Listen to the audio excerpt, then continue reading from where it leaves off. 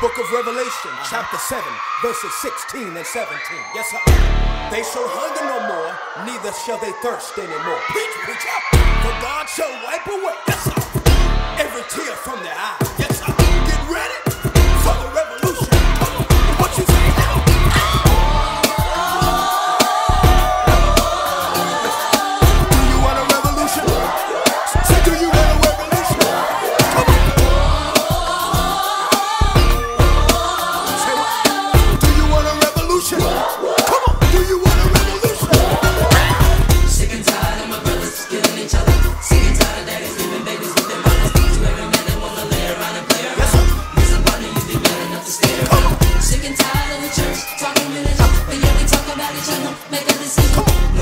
No.